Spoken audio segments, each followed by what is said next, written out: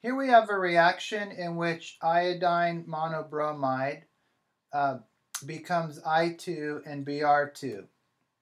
So we're going to assume that the equilibrium is established and um, the only way it's uh, started is by adding the IBR. And then we need to find the concentrations of I2 and Br2, and we are given the equilibrium concentration of IBR. So we have, that's what we're given. That's going to be 0.0124 molar. That's given. So we need to really work backwards. Okay, so um, initially we know that I2 and BR2 are zero because it says we're only adding IBR. But we don't know what that is. So that's going to be the molarity initial.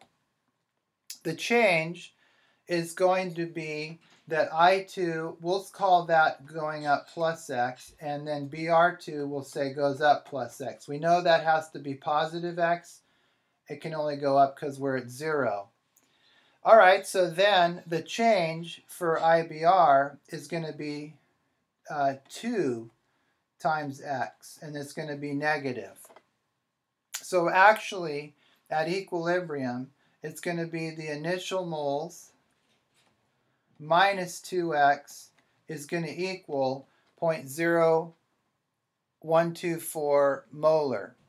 And then the concentration of iodine and bromine are going to both be x. So now we can set up our equilibrium expression. Kc is going to equal I2 times Br2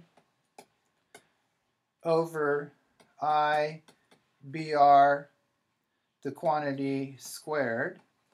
Okay, so that's going to equal, and we're, again, equilibrium, the, the, this expression means we're going to use the equilibrium values down here. That's the, these are the only values we can plug into this equation.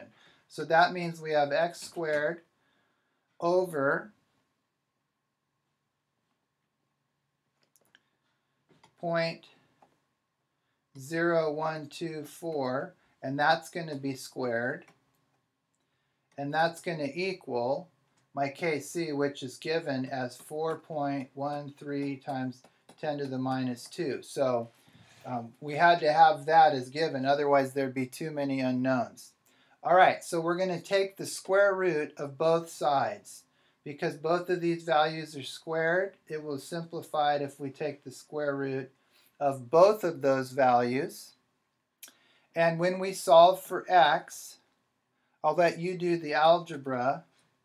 x turns out to be 2.52 times 10 to the minus third when we solve for x. That means that the concentration of I2 equals the concentration of Br2. Again, we don't want to just say X. We don't want to end it here. We want to actually answer the question. And it turns out that X is I2 and Br2, but we're going to state that 2.52 times 10 to the minus third molar. And that's the answer to the question. It says, what are the concentration of both of those species? Okay, but now we need to figure out what is the initial concentration of IBR. And you will remember that we wrote up here our little equation that the initial molarity, and that this is why we did it, because we want to know what is the initial concentration. That's what we started off with. It's not zero because it says that there was some added. So we now know that the initial molarity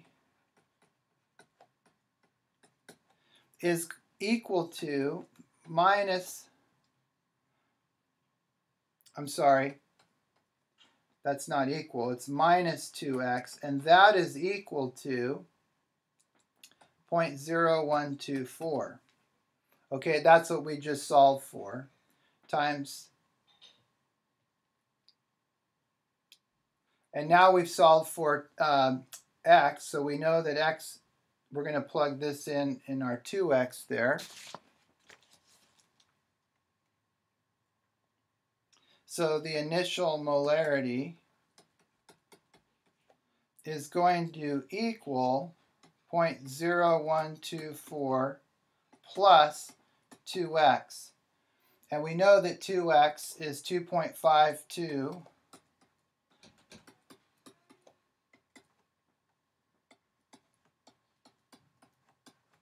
times 10 to the minus third molar. So when we do the math, 0.0124, that was, uh, that was given as our equilibrium. we know that the IBR went down from its initial. So uh, to go back to the initial, we're going to add 2x. And so that comes out to 0.0174 molar. And that is the initial molarity of IBR.